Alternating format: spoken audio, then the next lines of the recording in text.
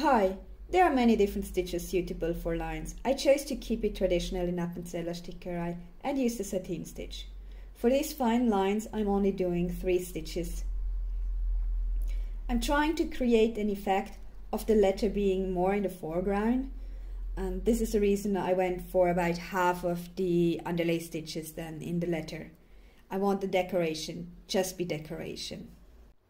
When I get close to where the line splits, I stop a couple stitches before and stitch the swirl and then jump back to the main line. This is a jump of only a few millimeters, so I'm not too worried of it being a weak point.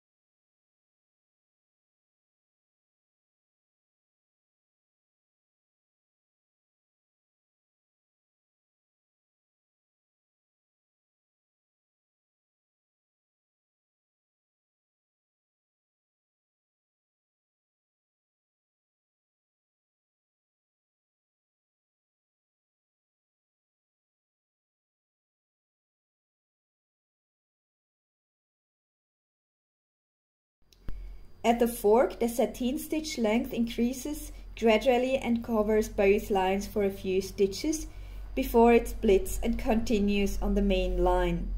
The sateen stitch of the two lines are touching before they are going their own way.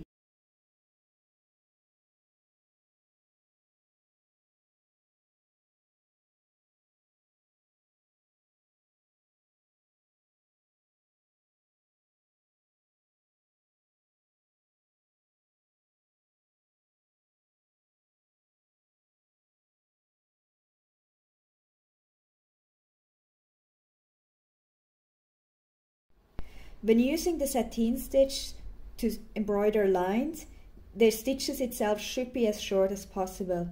The goal is to create the illusion of a line and not a wide bar.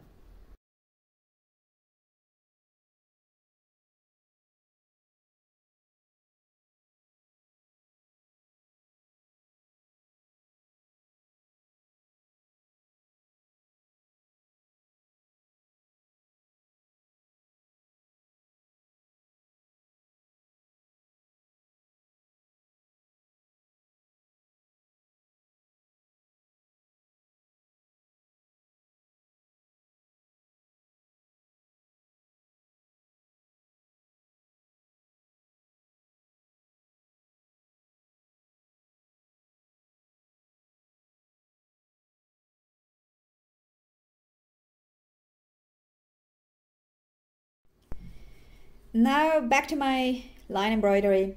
Have a great day.